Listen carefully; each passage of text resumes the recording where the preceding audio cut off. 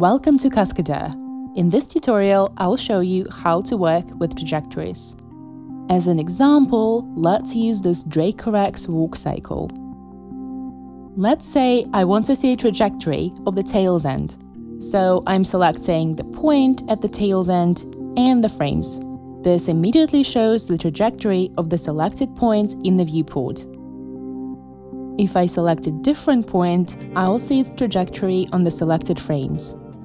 Now, if I select multiple points, I'll see the trajectory of the top point in the hierarchy as default. This is a tab where you can choose the display mode of the trajectories. If I select all trajectories, I'll see them all at the same time. There is also an option to see the edges and the edges and trajectories at the same time. And here is the option to see the trajectory on the keyframes. By default, when I deselect the object, I'll stop seeing the trajectory. And when I select a new object, I'll start seeing its trajectory instead. Now, let's say I want to still see this trajectory while choosing new objects. To do this, I can fix this trajectory on my screen.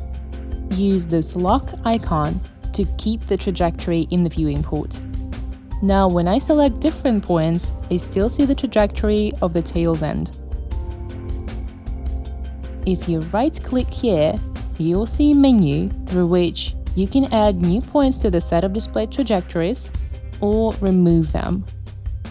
You can also do this by holding down Shift on your keyboard and right-clicking on the points and I can hide all the trajectories by clicking Trajectory Turn Off.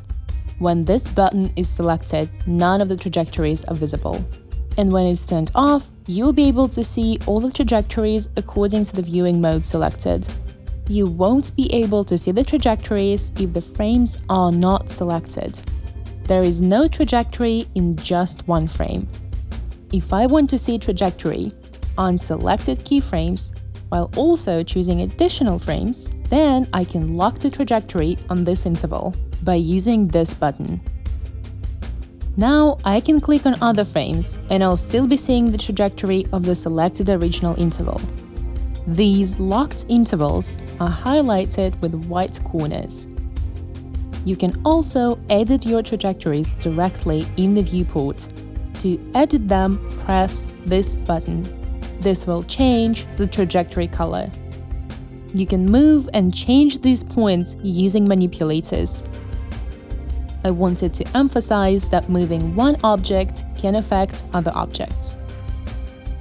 When editing trajectories, it might be useful to use the tool called Scale. Select all the points on the trajectory, select Scale, and then increase or decrease the range of motion. And you can also set the pivoting points when editing the trajectory.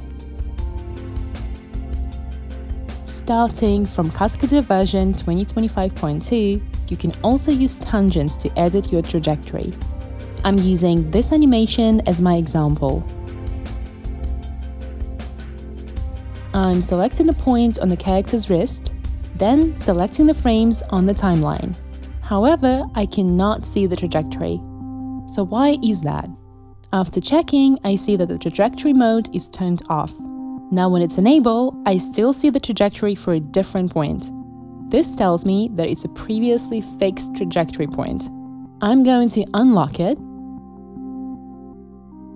Now I'm clicking on the lock button again, this time to fix the selected wrist point.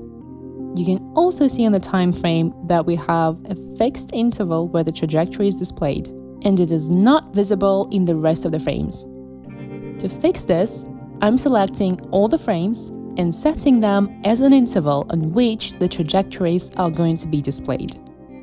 And like this, I'm seeing all the trajectories that I need. Next, I go to Trajectory Edit mode. Here, you can see small controllers around the key points of the trajectory. These are your tangent handles. For my convenience, I'm going to isometric mode and I'll snap the camera to one of the axes.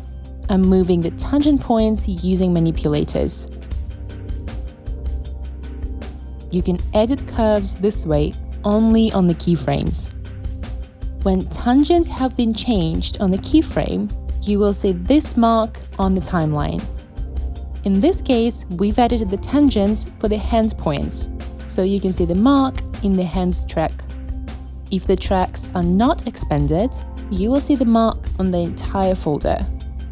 If you would like to cancel your edits and get back to the original tangents, use this button.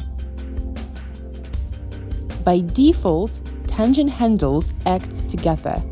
If you disable this function, however, you can edit them separately and independently.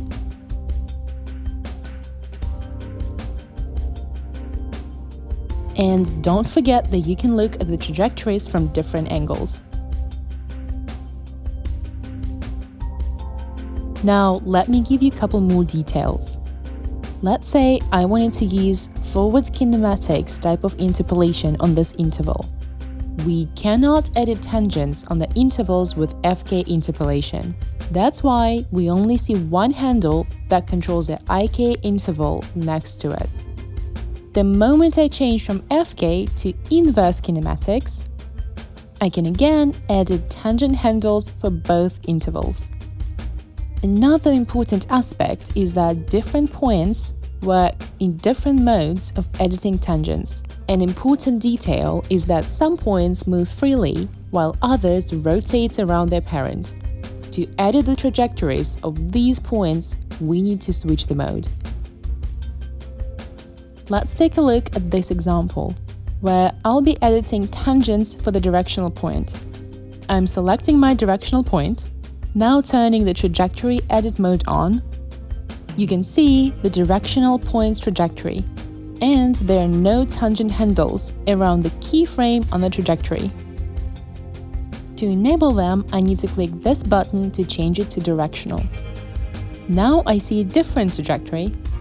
This is a trajectory relative to the hand's main point. When you edit it, you will change the rotation of the palm relative to the parent's point. Here is another example for editing the trajectory of the character's head direction point. As you can tell, changing this trajectory will affect how the character's head is rotating. And of course, editing tangents works the same way for auto-posing points. And that's all I have for you today. Thanks so much for watching.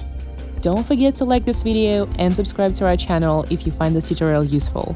And if you want to see more tutorials like this in the future. Please let us know in the comments how often you work with trajectories and whether they help you with your animations.